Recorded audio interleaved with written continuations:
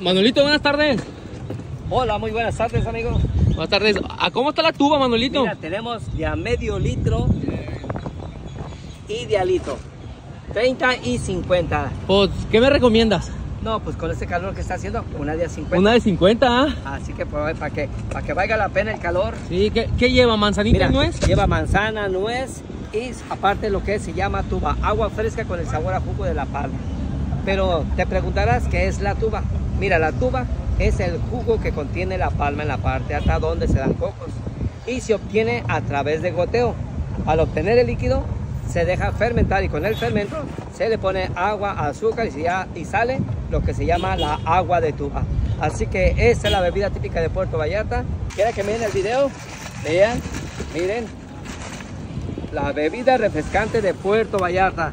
Una bebida típica de Vallarta